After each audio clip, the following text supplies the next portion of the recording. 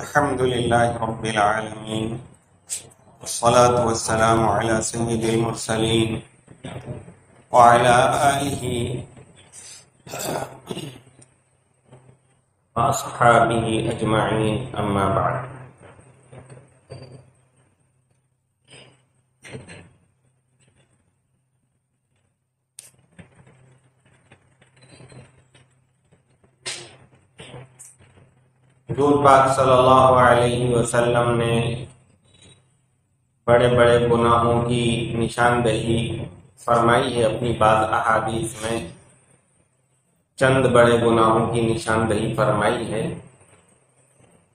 अल्लाह तबारक व ताला ने कुरान शरीफ में फरमाया कि इन तजतनिबू कबाइरा मा तुनहौना अन्हु नुकफ्फिर अन्कुम सय्यिआतिकुम व नुदखिलकुम मुदखलन करीमा। कि अगर तुम बड़े बड़े गुनाहों से बचोगे, जिनसे तुम्हें मना किया जा रहा है तो हम तुम्हारे दूसरे कसूर माफ़ कर देंगे और तुम्हें अच्छे मकाम में दाखिल करेंगे। तो हमारी ये कोशिश होना चाहिए, पूरी और हिम्मत होना चाहिए और दुआ और तमन्ना होना चाहिए कि बड़े गुनाह के करीब न जाए। बड़े गुनाह के करीब ना जाए तो अल्लाह तबारक व ताला कसूर को माफ फरमा देगा नमाजों से माफ हो जाते हैं तो बड़े गुनाह भी बहुत हैं लेकिन ये चंद हम आपके सामने हदीसों के हवाले से पेश करते हैं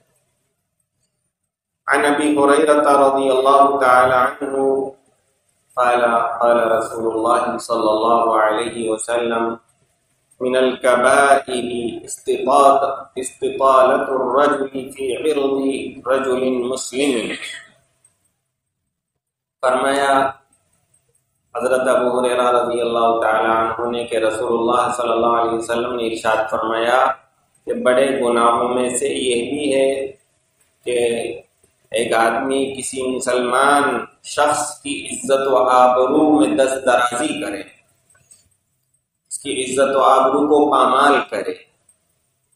तो किसी मुसलमान की आबरू रेजी करना, उसकी तजलील करना, उसको ताना देना, उसके ऊपर तोहमत लगाना, इल्ज़ाम लगाना सरे आम उसको रुसवा करना, ये सब बातें बड़े गुनाहों में दाखिल है।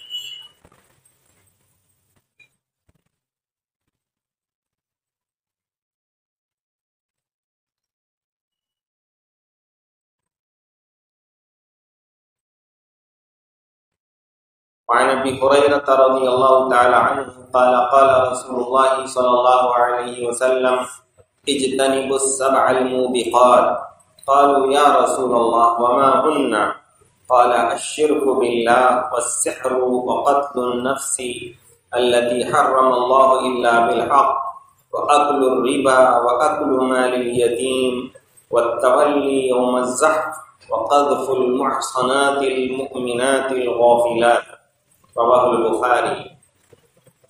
बुखारी शरीफ में हज़रत अबू रज़ी अल्लाह अन्हु से रिवायत है कि रसूल अकरम सल्लल्लाहु ने इरशाद फरमाया कि सात मुहलिक गुनाहों से बचो, सात हलाक करने वाले गुनाहों से बचो। लोगों ने अर्ज़ किया, या रसूल अल्लाह वो कौन कौन से हैं? सात हलाक करने वाले गुनाह। तो आपने इरशाद फरमाया अशिर को बिल्लाह। अल्लाह के साथ शिरक करना। शिरक मतलब शरीक करना, अल्लाह के साथ किसी दूसरी हस्ती को। शिरक का मतलब शरीक बनाना।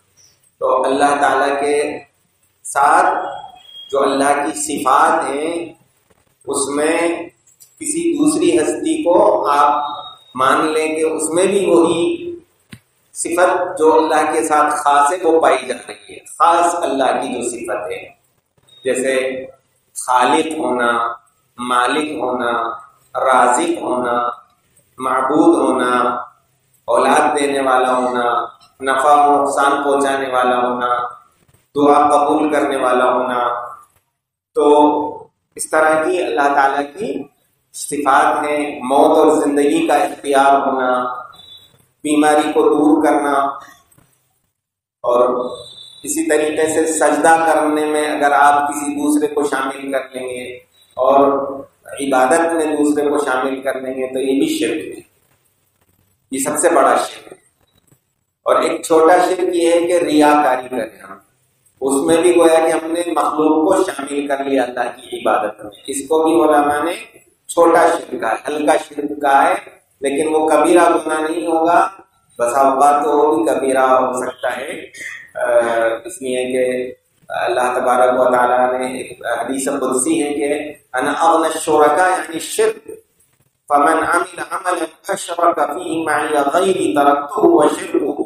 एक हदीस कुदसी है, जिससे तो रिया का भी कबीरा गुनाह होना मालूम होता है।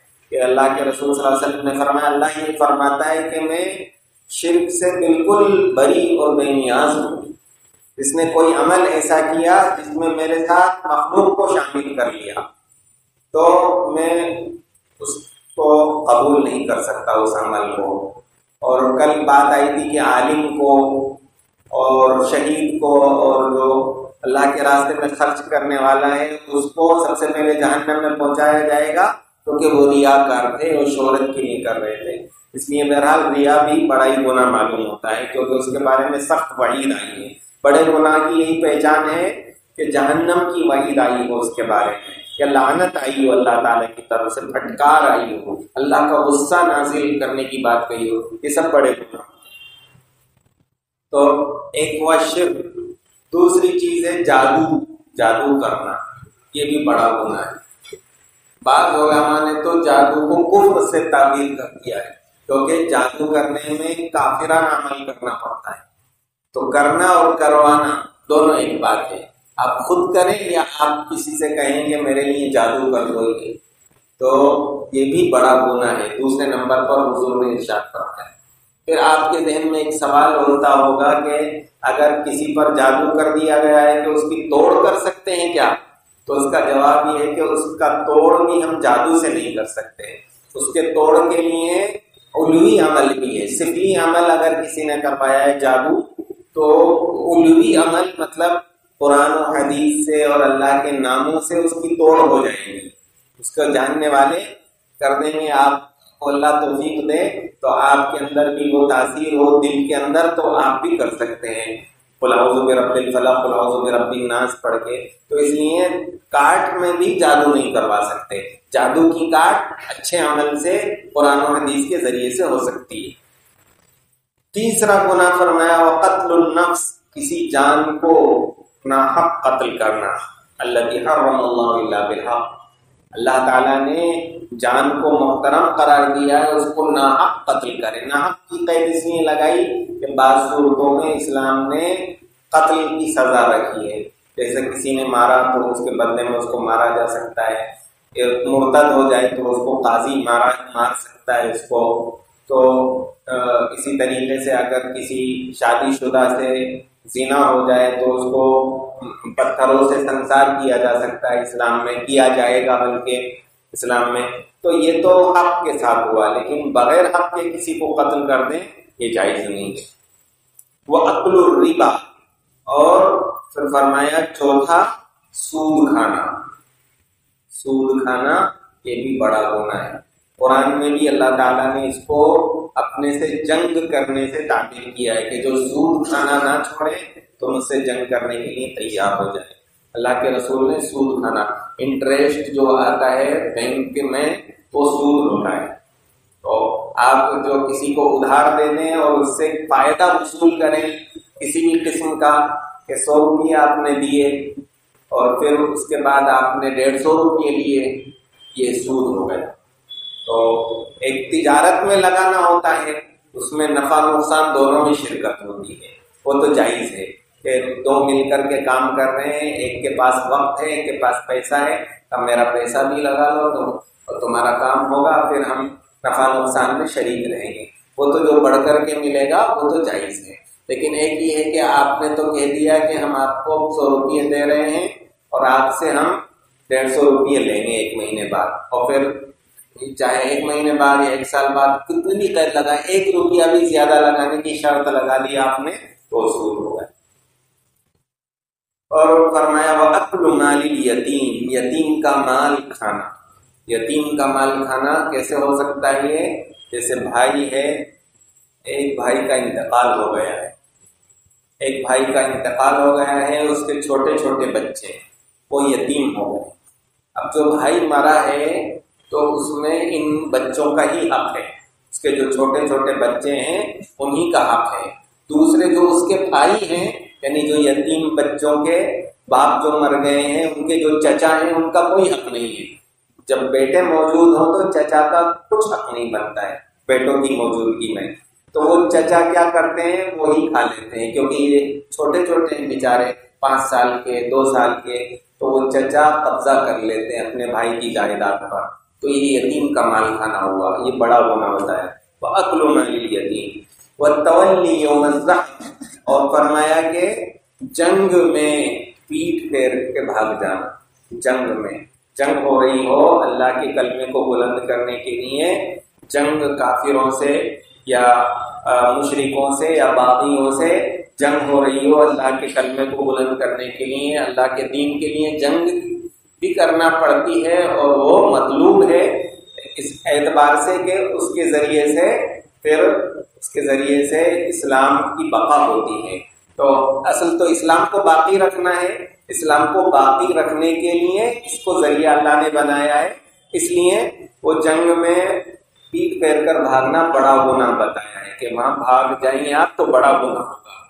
और तवल्ली और फरमाया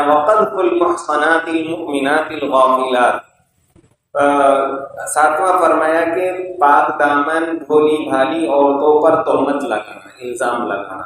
पाक दामन, भोली भाली औरतों पर बेगुना बेकसूर उन औरतों पर इल्ज़ाम लगा दें आपकी जिना किया इस औरत ने उसके बारे में गलत माहौल बना दे तो ये बड़े गुना फरमाए, अल्लाह के रसूल बहरहाल हमारे पास और भी जखीरा था एक और हदीस सुना के खत्म करते हैं अन अब्दुल्लाह इब्न अम्र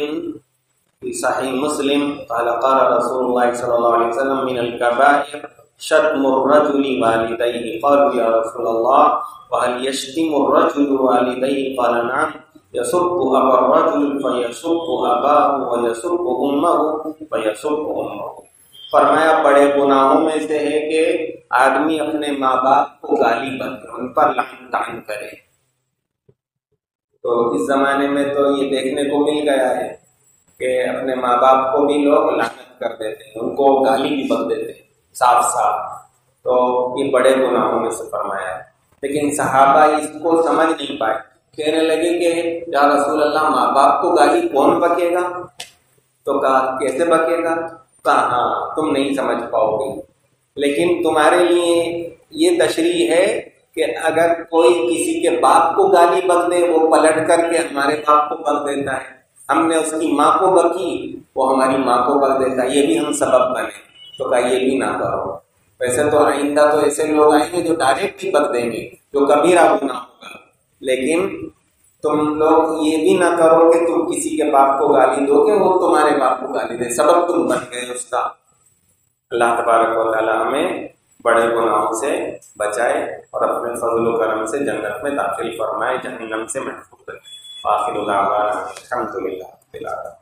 सल्लल्लाहु अलैहि